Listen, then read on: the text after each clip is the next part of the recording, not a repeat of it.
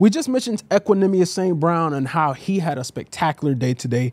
But is he a dark horse to make the receiver list? Uh, or is it written in pen that Olave, Shaheed, Cedric Wilson, Bub Means, those names A.T. are Perry. A.T. Perry are, are written in pen. Is, is that a given thing or can St. Brown shake it up?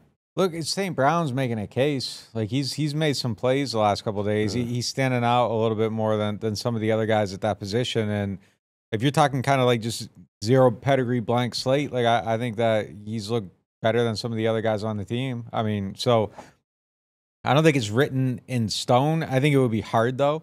I think it will be hard for him to make the team. If he makes the team, uh, he'll have to be doing something else, where it means that Bub Means just really hasn't done enough to kind of warrant keeping a roster spot, and you're willing to take the risk to expose him to the practice squad.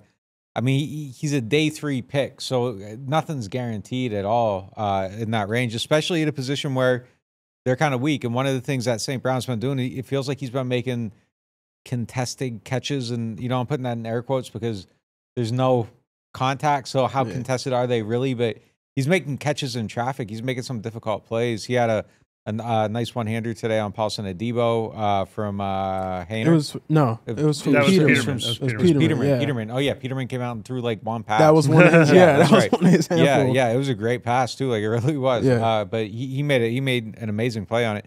But yeah, I, th- I think the door's open for for someone at wide receiver. It's it's tough. Like it's you know you kind of gotta you gotta hit it with some force. Whereas I feel like some other places like the door's open and it's like come on in. Like Yeah. you kind of got to know where you're going and and and get them to open the door for you. Uh, Which New is England funny clam chowder, because- use the password, get in. But you know that's kind of that's kind of what you got to do. You got to know your way in. But you can find your way in if you know how to get there.